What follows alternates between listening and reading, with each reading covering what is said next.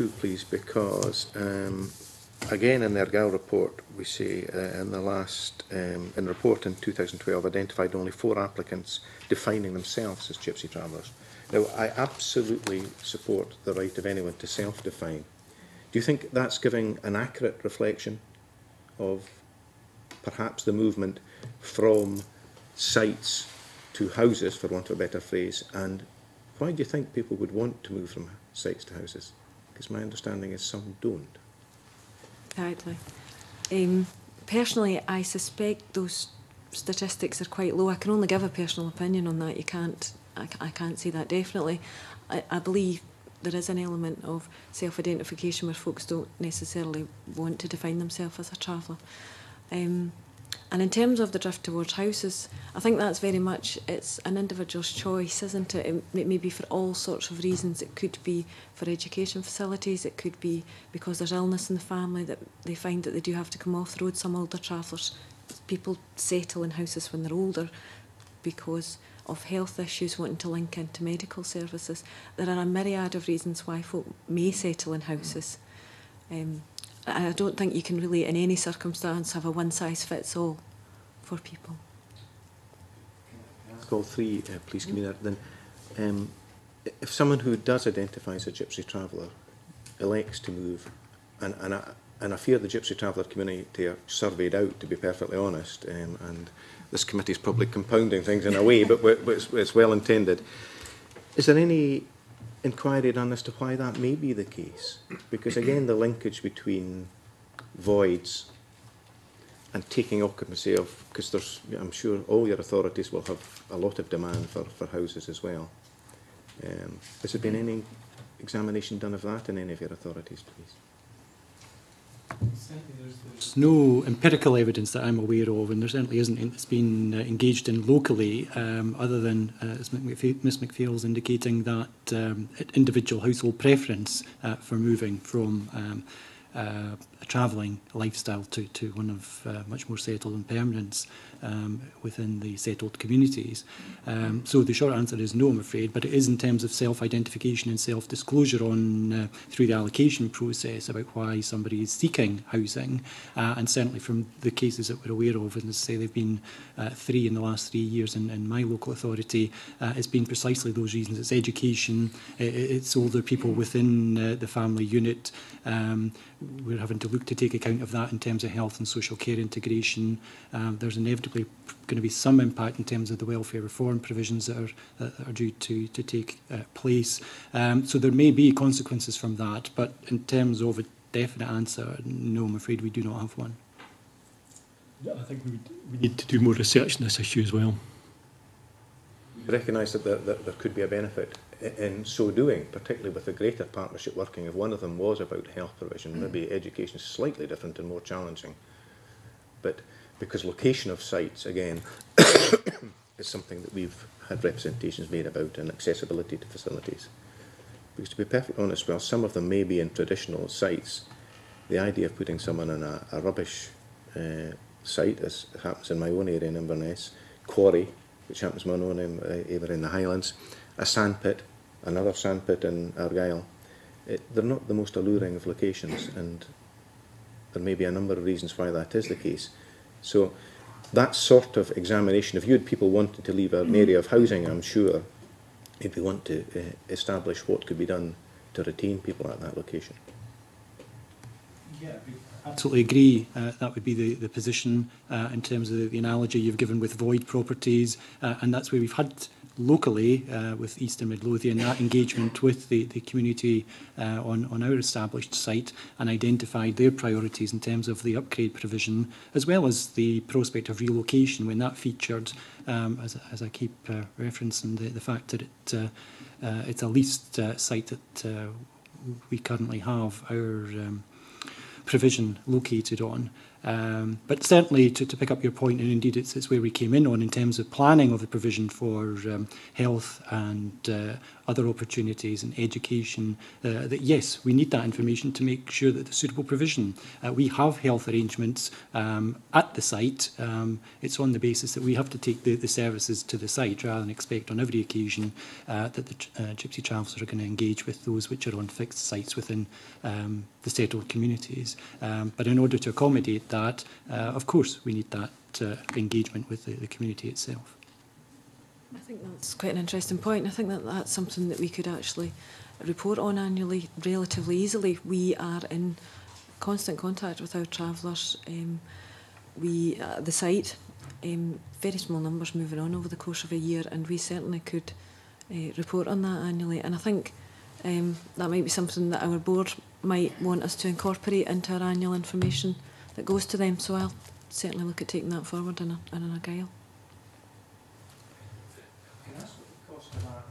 Changes for each of your authorities, please. Someone, someone taking occupancy in a, house, is there a cost associated with that? terms of a, a void property. A void property that's subsequently been occupied. Relate, yeah. I mean, that can range um, from really a minimum from £500 roughly to up to £3,000 depending on the condition of the property that's returned uh, for relet uh, to us. Of, of, of the standing and, and the sites is, is, is a thing I've come across both in the course of this and, and previously. And it would seem to me you can buy an awful lot of tarmacadam for that. Again, you know, any cost benefits analysis of, of facilitating someone staying where they may want to stay um, and addressing their concerns because some of the facilities are quite frankly shocking, you know.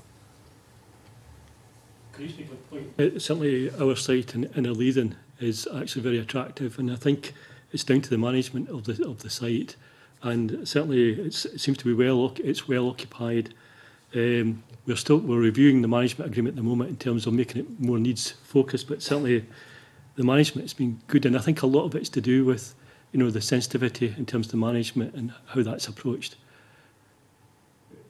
It shouldn't be down to the, the goodwill of, of individuals, which is commendable. Yeah. Um, and it shouldn't be beyond the wit of the public sector to provide facilities like that. That, too, after all, is where the statutory obligation rests. So there, there are ways and means, you know, if something's working well, and certainly the approach we have, we've, we've, we're working with the Scottish Sites Management, Management Group, and we've had very good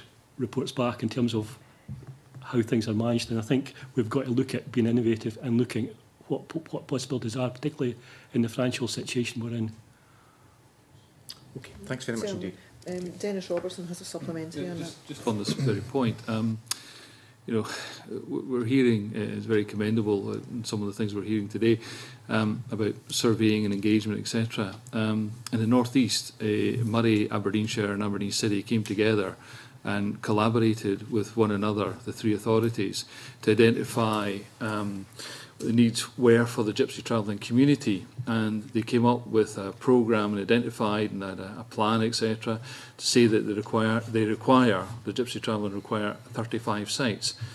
Um, from that, they have one site. Now, what I'm hearing is um, we can identify and we can survey, but what about action? What about actually provide the provision, the end result? Because it's fine to identify and it's fine to say that we've identified what is required, but are you taking the appropriate actions? To some extent, in different organisations that rests on strategic leadership. Um, in my own association, and I'm, I suppose, talking about managing sites rather than introducing new sites or transit sites.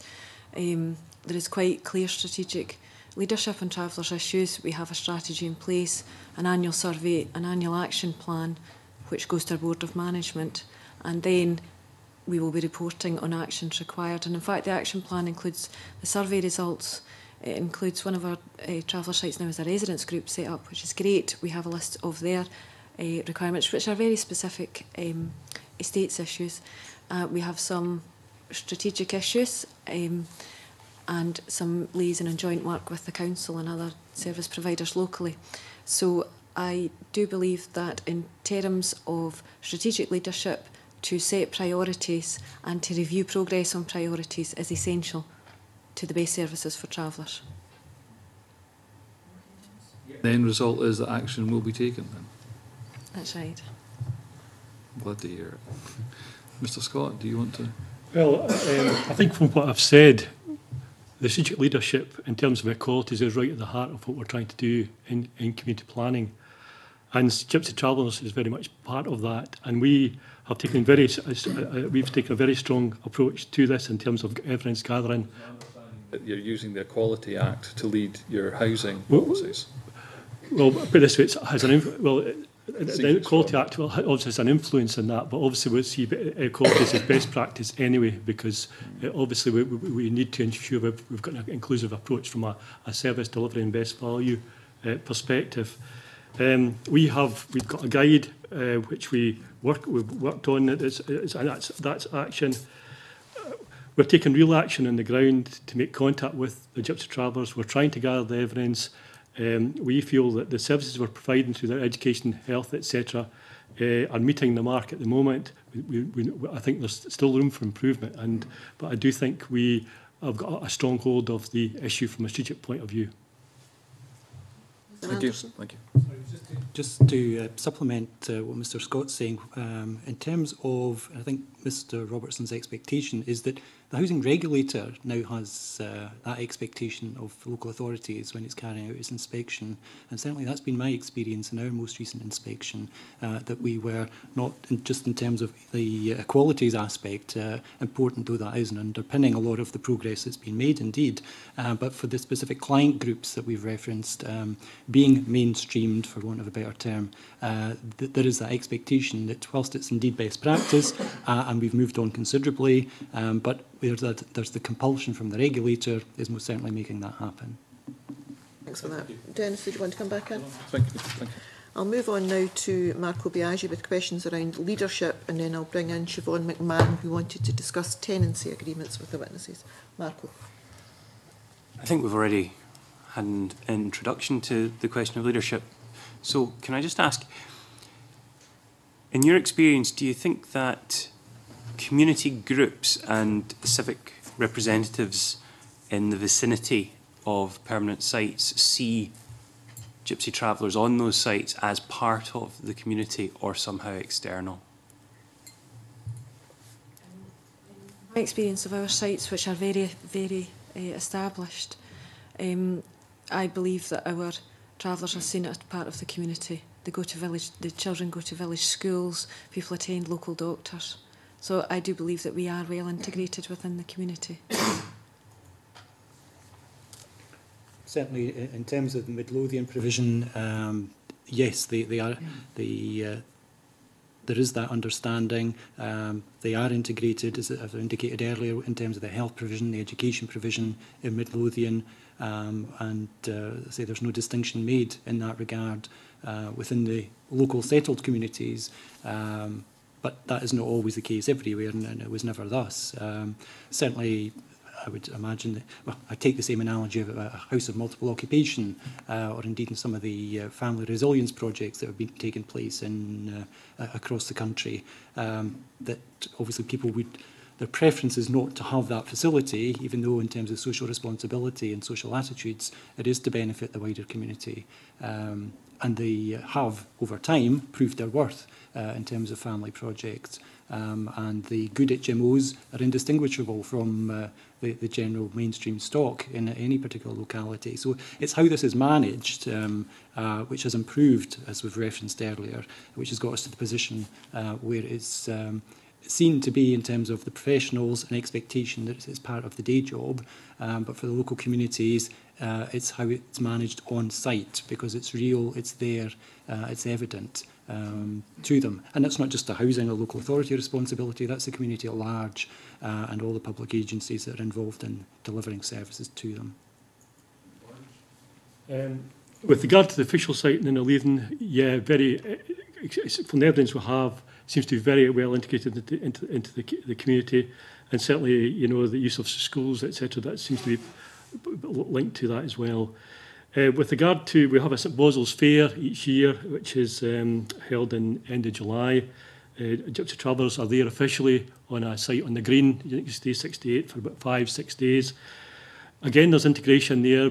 We have a lot of community liaison with respect to that, but it does have its challenges as well in terms of the community. And with regard to unauthorised sites, obviously what we do is we do work with the communities with respect to that, but it's challenging with respect to, to that.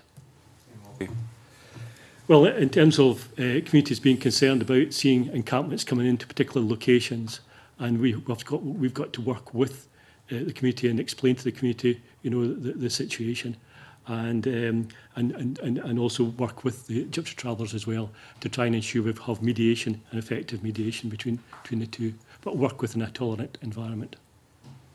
Uh, you've mentioned the difficulty with unauthorised encampments, and there's already the example from the northeast of a, a study that had suggested the value of a, a substantial increase in the number of uh, permanent or transit sites. If you were to, as uh, officials, uh, suggest uh, into the, the, the decision-making framework the possibility of an additional, for example, three or four sites to deal with the demand that has led to uh, unauthorised encampments or has contributed to the demand to uh, unauthorised encampments. How do you think uh, groups uh, and others would respond to that uh, external to the council? again, I would say I don't have any personal experience of this. Our sites date back for decades now, um, and there is no attempt at the moment in Argyll to create additional sites. So I can't say with any validity how the communities would react to that. And as I say, um, our earliest site goes way back to the 1980s and went on to a site where travellers stopped. So I couldn't honestly determine how communities might react. I, th I think it's it's challenging because obviously there is sensitivity. The difficulty we have is that you know we're talking about certainly from the borders perspective we're talking about short stays, you know four to ten days or so.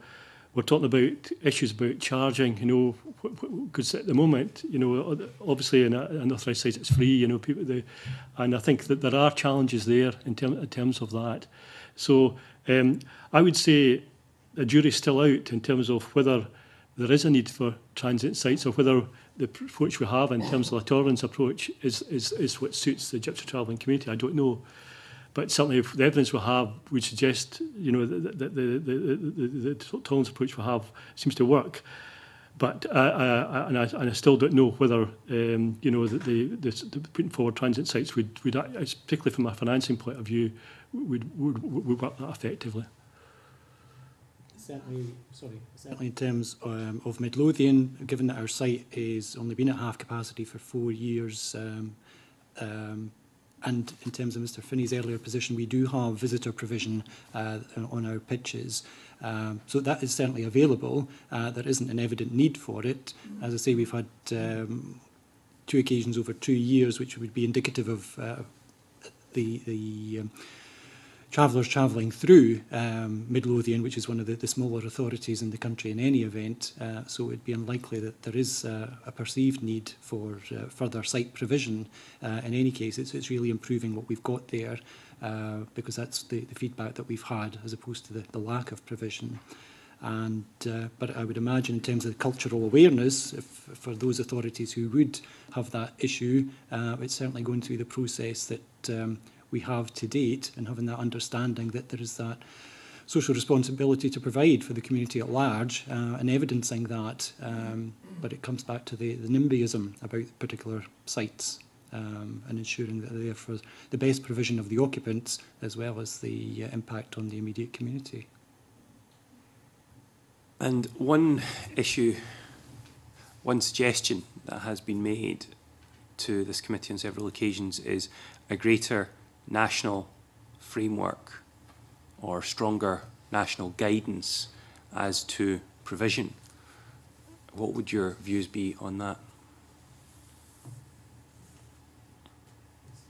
Certainly if, if there's rush at once. Well, if there's an expectation to ensure that each local authority, as has been the case with homelessness, as has been the case with violence against women, these are issues which were always there, but their profile has become much more evident uh, and, and a need to tackle the difficulties uh, that are symptomatic of, of those uh, being evident in local communities.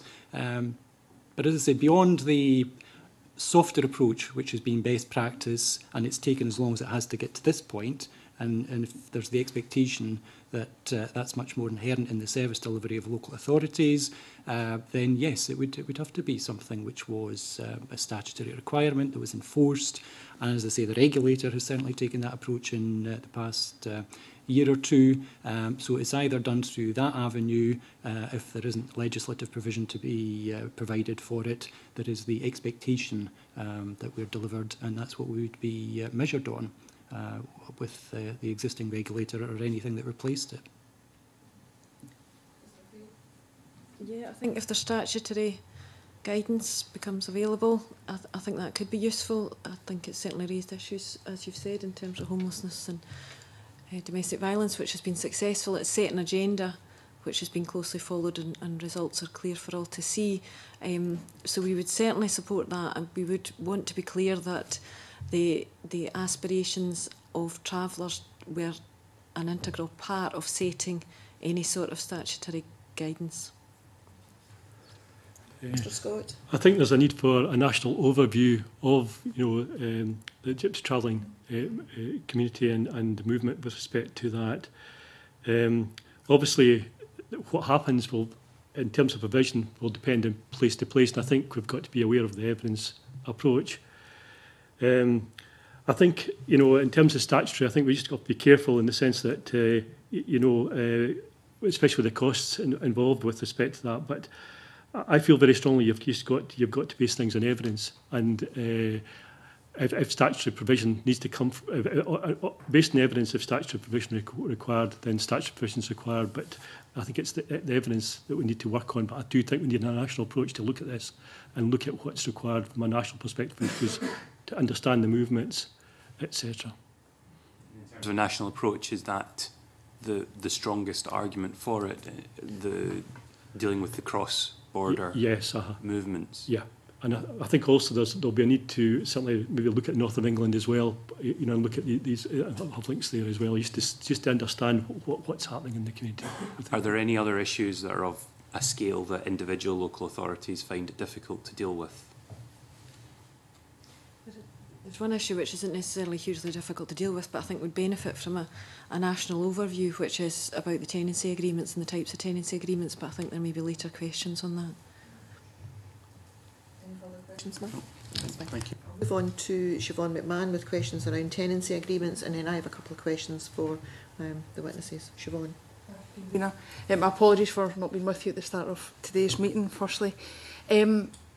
on tenancy agreements, you'll understand that the 2001 report from the Equal Opportunities Committee um, indicated that there should be a uniform tenancy agreement across Scotland. So what I was wondering is, what do you include in your own tenancy agreements at the moment and what criteria is applied to how that is drawn up?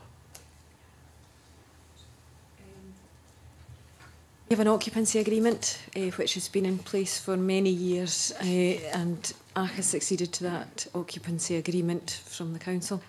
Um, it, it it's not as comprehensive as the leases, the SST and the triple ST, which was the Scottish model, which um, is now in place across Scotland for mainstream tenancy. So we, as an association, see a priority for travellers as trying to move towards some sort of model tenancy agreement that would be in place. In terms of hours in particular, I think it will be like my colleagues, a eh, seven day notice period, which is something that travellers see as important so that they can go without being held to 28 days as it is in settled housing.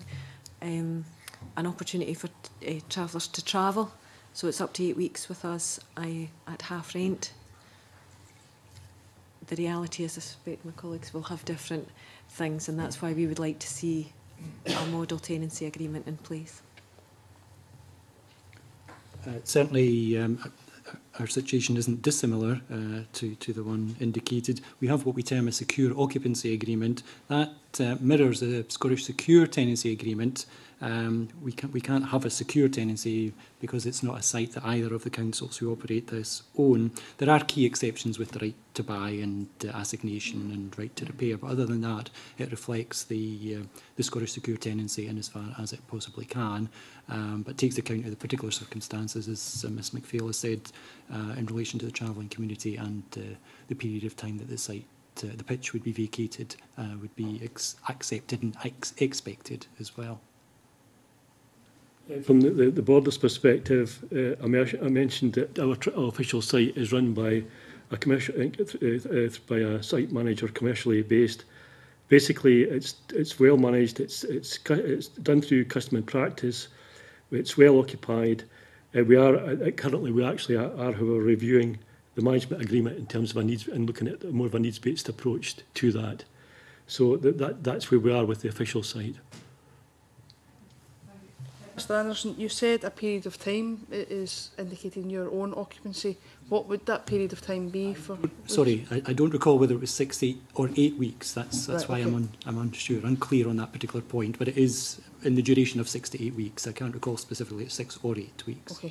thank you. And Ms McPhail, you said it wasn't as comprehensive as it could have been. What were the reasons for that at the outset? Obviously, you've indicated that you wished to go further, but what were the reasons that it wasn't comprehensive? We've inherited the lease. Um, for many of our long-standing tenants will continue in the same lease signed with the council. Uh, we would like to say it with colleagues in other councils, largely councils who are running um, sites, we would like to be part of a wider group that produces a model lease. We think um, there seems to be in different places different leases. That leads to confusion with travellers. It leads to confusion with folk travelling between different authorities. Um, there can be low levels of literacy, and we just think that one standard lease, in whatever form, would be something that we should try as a nation to move forward on. I should say that though ours um, doesn't enshrine some rights uh, which our housing tenants get, we have actually moved forward in doing that. So the right to repair is available to our tenants, and that's detailed in our strategy. Uh, so that they get exactly the same level of repair service and we have the same responsibilities to them as any other tenant in Argyll. And AIDS and adaptations. We get the same level of AIDS and adaptation services as tenants, so we've committed to doing that. Did one of my, my questions, because um, what I was going to ask was we visited a number of sites, and, one in particular I visited um, the caravan that the family were staying in um, was in desperate need of repair. Um, and I think that's being polite about it. Um, and I think if they'd been in any other housing, um, there would be an outcry about the living conditions. So what are the steps that that family can go through to get repairs? Because clearly, for me, I don't think there was enough information for the family. So if they required a repair to, to their caravan or the, the site, what, what would go, what would be the process? Two elements to it. There's the, the pitch, the hard standing and the, the pitch unit and the electricity supply, which is what the rent is paid for and which the provider repeat. The caravan is owned by the tenant and they would have to look at that. Now, in my experience, we have had some folk who either the caravan has, through age, become a eh, unsuitable to occupy, or because of storms, the folk have had damage. We have worked with travellers to find effectively funding to get repairs done or to get a new caravan. in a very small number of cases, a very small handful of cases where it's become a crisis situation, there's families involved, we've helped folk to secure temporary accommodation. And just for everyone then, do you think and understand why the caravan would be the responsibility of, of the people who occupy it, given that they may move around um, different sites and, and so you're not responsible for what happens in other sites. But given if they have lived there for a period of time, do you think that could be built in any tenancy agreement that um, it is the responsibility of whoever owns the site. Um, so, for instance, if the traveller has been there six months, that the council or the housing association can work with them on the repairs rather than it is their responsibility. It's an interesting thought which has never been raised before. Um, right. Certainly for travellers, they see the caravan as their property and something that they can trade and move up and, and improve on often. So I certainly have never come across that with travellers looking at that as something to do, though I do understand that at Perth there are actually chalets on the, the site, which is a wee bit different, a very different model, and maybe something that could be explored there. And would you, but if the traveller was open to it, would you be open to at least looking at that um, in a model tenancy agreement? If we were talking about national, and, and obviously please feel free to come in, it's not just Miss McPhail I'm asking of, um, but if you were putting it in a national model of tenancy, would that be something that, that you'd be open to looking at? If you look at it, it would be unusual to do repairs to tenants' rents pay for repairs, and it would be unusual to do repairs to something that the tenants' rents don't own. So it would be a slightly unusual circumstance. It would be quite interesting to see the wider tenants group, how they felt about that, and the wider travelling group, how they felt about that. Siobhan, just before we move on from that question, can I specifically ask you something, um, Ms McPhail? I visited um, the site at Loch Gilphead um, along with some other members of the, the, the committee. And I'm interested in the, the, the point you made about um, working with um, people on the site if there was a problem with their caravan. Um, could you explain to me exactly what you mean by working with? Holligan, there's actually a residents association we've managed to get started up now mm -hmm. with mm-hmm. some of the tenants. They've given us a list of priorities for the site that they see, and we've put that into our action plan for the next year. And um, those where the access road, which is poor to the site, which is owned by the council, uh, trying to work on that, to do some joint working with the council to improve the quality of that, and some other estates issues. So when you say working with, if, if a caravan's in, in disrepair or in a very poor state, you don't work with the tenants on provision of a new caravan? We don't provide funds for caravans, no. No, that's, that's fine. Thank you for clarifying that, Siobhan. And then just on maybe a follow-up to that then, um, and again, please, I'm, I'm not trying to direct every question to Ms McPhail, but you mentioned aids and adaptations. What would the process be then to, to help if, if you were going to look at that, and given that then you don't own the caravan? How does that work? Uh, in ACHA, what we do is for any tenant uh, up to an adaptation of £200, we just do it without uh, going to the occupational therapist or the grant system. So that's handrails and things. So we've done some of that. Handrails at amenity units. We can put handrails onto a caravan if, some, if that would help somebody. Um, for bigger adaptations, which are grant funded uh, through the, the government, and that's usually sort of ramps to caravan doors and things where folk are becoming less mobile for getting in and out. Uh, we've had grant to do them through the aids and adaptation system that's available to citizens of the country. And in one instance, a, a, a caravan unit was purchased to provide very disabled facilities. Through yourself? Through the council. The, the council. right, okay. The council did that and it's on our pitch. But that was a very unusual case. Generally, ramps, handrails are done through the General Aids and Adapt Adaptation System that your chef plan? Just to confirm, yes. I mean, um, our process has been the same as outlined by Ms MacPhail. That's why I wasn't disagreeing or countering what she was saying. It's the same position where we've made uh, adaptations to the amenity block, which is uh, uh, adjacent to each of the, the pitches there. Uh, we haven't gone to the extent or required to. We haven't had the circumstances that Ms MacPhail's encountered of uh, providing a, uh, a specialist to provide caravan, but we, we do the adaptations as they've proved necessary on the site, yes in the borders, we have one unit uh, that is adapted for disability needs. Uh, so and, uh, and that's uh, uh, and, and that's got its full access ramps and everything else.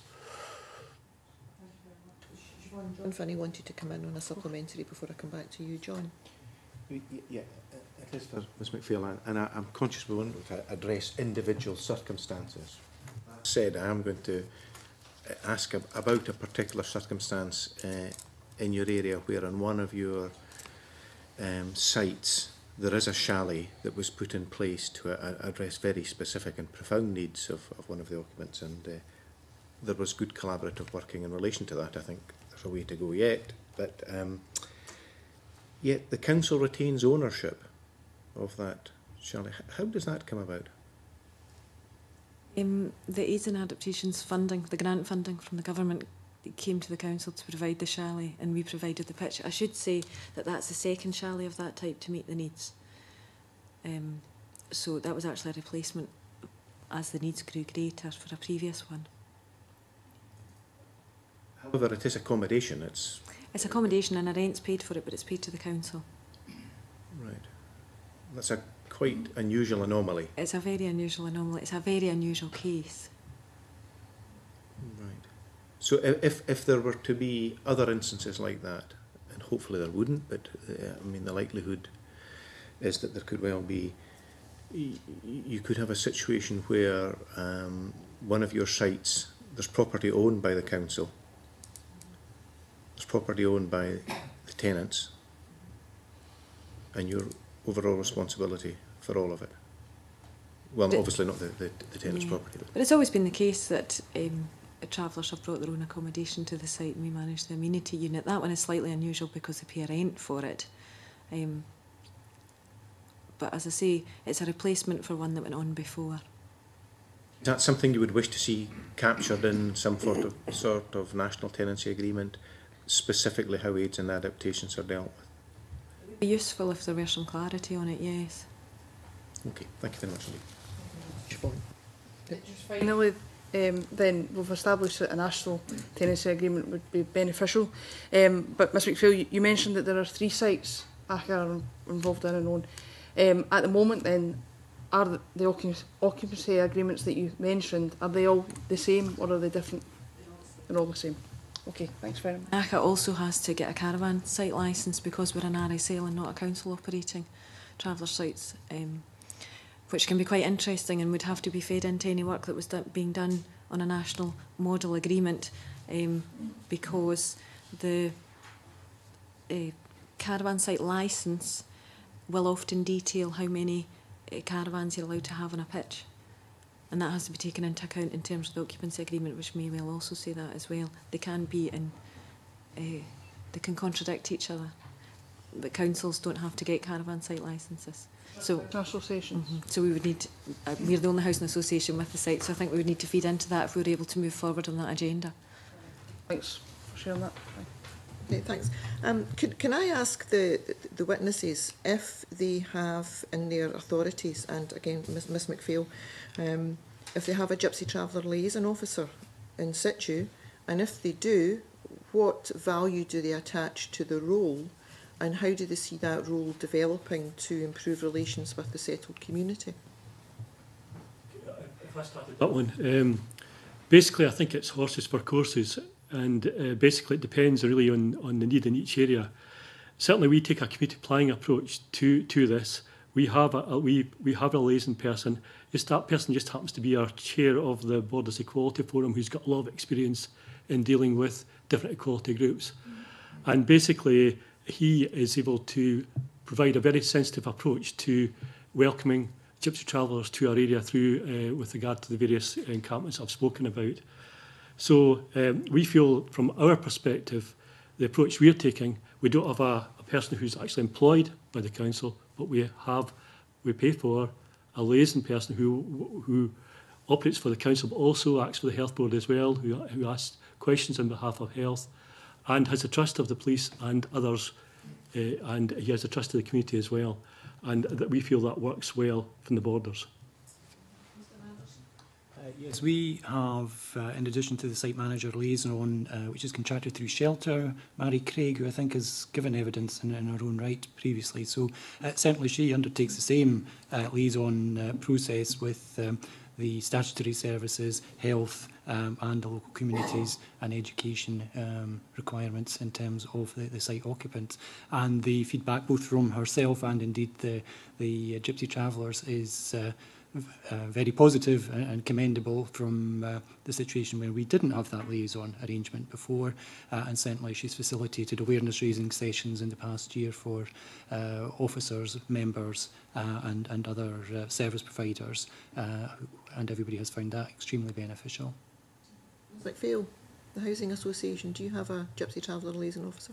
We don't have. We have uh, officers who uh, cover the traveller site within the village and serves the tenants within the, the wider village community. But there is a more direct uh, contact with travellers than the village. We actually we go once a week to the sites, um, and there's three different officers dealing with it. Um, interesting that in our survey, one of the things that came out really well uh, was that travellers, the majority of travellers felt that the, the amount that we visited the site was right and that the ways in which they can get in touch with us, there's an 0800 free phone number, eh, was good. 100% of respondents said that. Mm.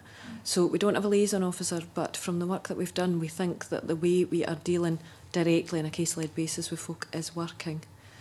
Um, as I said, it's, it's a traveller work is, is embedded within our strategic direction. Um, the council doesn't have a liaison officer, though we do work with the local housing strategy folks. Mr Anderson, you, you mentioned the um, awareness raising that um, Vary Craig does, and as you say, she has come and, and given us evidence. Um, and I wonder, do Mr Scott and Miss McPhail see a value in doing awareness raising with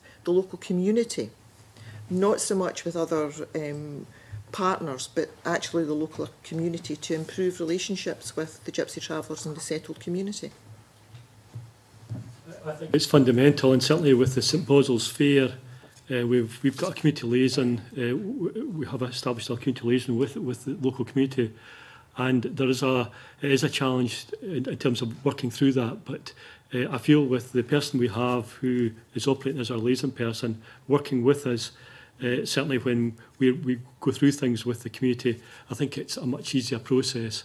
Um, obviously, when we, with, with regards to some of the unauthorised encampments, we do have our difficulties at times. But again, uh, you know, uh, we, we try and get a mediation process going, and we try and make the community aware of of what, you know, what our responsibilities are, and also look at the equalities issues as well. And but we are pushing very heavily equalities into our communities. Ms McPhail? Yeah, we've previously carried out uh, liaison work with colleagues and service users, which travellers have taken the lead in, and they've they've done the work and uh, explained to folks. I think that's a good point about extending that into the wider community. I think that's a really good point and something I can take home. Mr Scott, if I could just come, come back to you and follow up on that point. When you spoke earlier about the um, the private site that you have. Mm. that, that travellers, gypsy travellers use. Could you perhaps give us a bit more information about the relationship that the gypsy travellers have with the other site users? And if having gypsy travellers on, if you like, a proper caravan site has actually improved the relationship that, that the travellers have with the local community?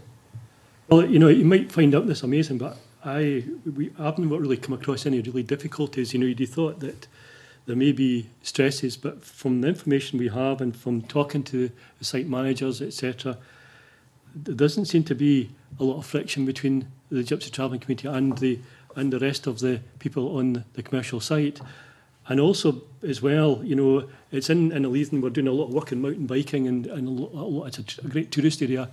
And really, we've not had the friction with the local community with respect to this.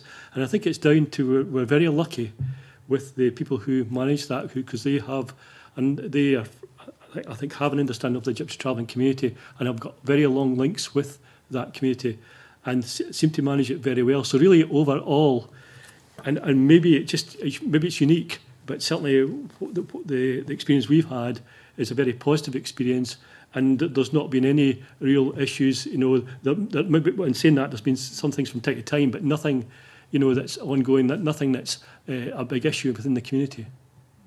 Do you see that as something that, that could perhaps be expanded across the country um, with with careful management? Well, I think it's horses for courses, and as I mentioned earlier on, you know, the type of you know, um, sort of accommodation type of accommodation we look for on the borders it seems to be passing through more type of uh, accommodation where, where I think maybe elsewhere you've got, uh, you know, people looking for settled accommodation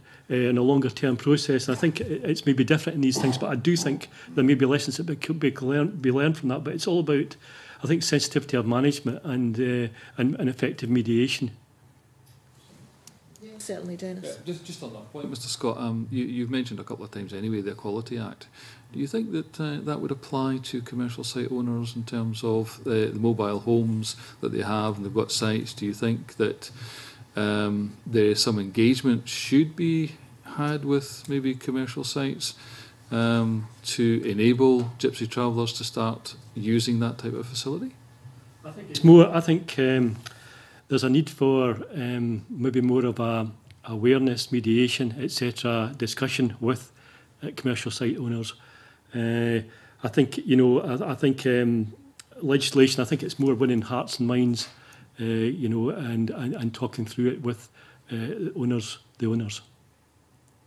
Basically, you're saying although there's an act, there could be discrimination, and it's I'm not suggesting you're you're saying it's okay, but you're saying it's about um, uh, getting people to acknowledge the cultural difference and uh, maybe, as you say, engage to see if uh, there's a, a practical possibility then of maybe using commercial sites more readily. Very much so. I, th- I mean, I think I think the, the, the, there's commercial sites throughout Scotland, and I think we've got to look at that possibility.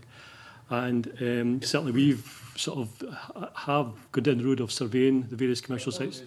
If someone goes into a site and they pull up, whether it be in a, a, a, a traveller home or whatever, um, the, the, basically, if they pay their fee, they're allowed to get on. Mm-hmm. But if you're a gypsy traveller, you might not um, be admitted. Would that well, be correct? Well, I don't. It depend. I, I don't know. I don't know. It's, uh, you know, at the end of the day, it's it's up to the private owner, I suppose, to take a, to do what they have to do.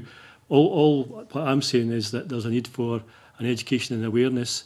Uh, I think we've got we've got to explore that route uh, as well as taking uh, other types of um, sort of uh, uh, action. And, and, and finally, um, and, and this question is, is for Miss McPhail. Um, you said earlier that Gypsy travellers are, are seen as part of your client group and are well integrated. Now, and as I said earlier, I visited Loch Gilphead. All, all committee have, have been to visit a number of sites. And, and certainly the, the view of the gypsy travellers that we have spoken to, they don't see themselves as part of your client group and they don't see themselves as well integrated in the community. And, and I do wonder Um, if they are part of the client group, the length of time gypsy travellers have to, to wait to get um, adaptations, modifications, improvements done to the site. Do you think that's acceptable if they are part of the client group? It's interesting that you, you say that they feel at Lookout Wade very disenfranchised. And did they give any kind of details of specifics and what made them feel like that? I think the, the, the poor condition of the site, the lack of access, the um, lack of access to public transport, the access road to the site, the poor conditions on the site. And, and I'm, I, I don't particularly mean to single you out because those views were expressed by Gypsy travellers across the sites that we saw. But, but I, I did want to specifically ask you, as you said, they were seen as part of your client group. That's absolutely the case. And if what the folks are telling you, we need to address that and we need to go and speak to the travellers and get to the root of what they see as the issues and deal with them. Mm -hmm. And we mm-hmm. will do that. Okay, thank you very much for that, um, Ms McPhail. Do any of the other committee members have any further questions for the, the witnesses this morning?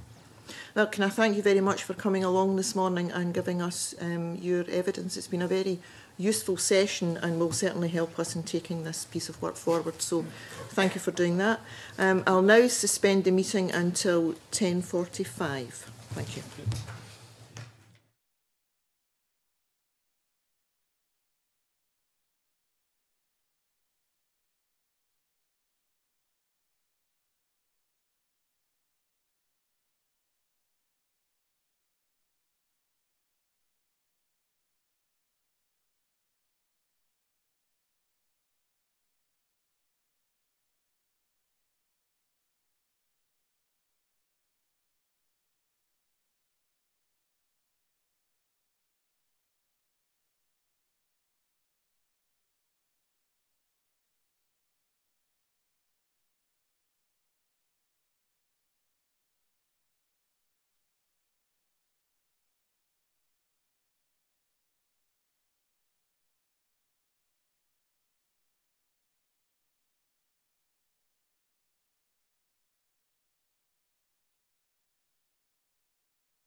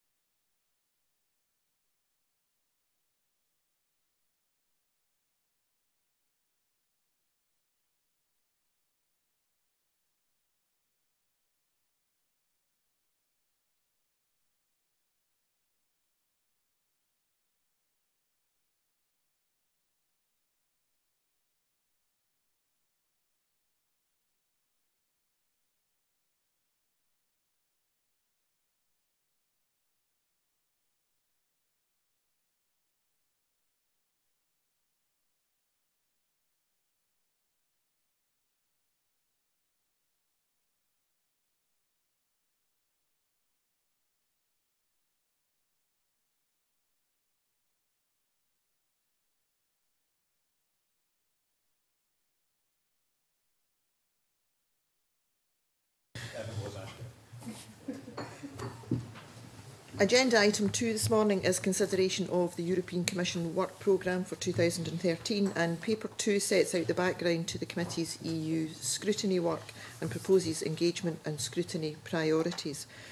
And this morning we're being invited to note the briefing set out in the annex and to adopt the Commission recommendation on fostering implementation of the National Roma Integration Strategy as a continuing priority for EU scrutiny to be reported back. to the EERC and to agree to continue taking the UK national strategy into account in the context of our inquiry on issues affecting Gypsy traveller people. Do committee members have any comments or are we content to agree those recommendations? John. Can I have a brief comment? Uh, uh, first of all, it's to, to thank the clerk for um, com compiling this and, and to stress, I think, the importance of the Roma situation. There are, if people are aware, there are a number of unfortunate incidents across Europe. I, have written to the Mayor of Belgrade regarding a sizable uh, relocation of the Roma population there. Mm. Um, and and I, I, think linking in with our previous discussions, it's very important that we keep a wider uh, eye on, on developments and, and hope to improve the situation locally and uh, across with our uh, international partners too. Mm. Thanks for that, John. Dennis, did you want to come in? that I'm just content, actually. Any members have any other comments? Are we content to agree the recommendations that are in the paper? Yes.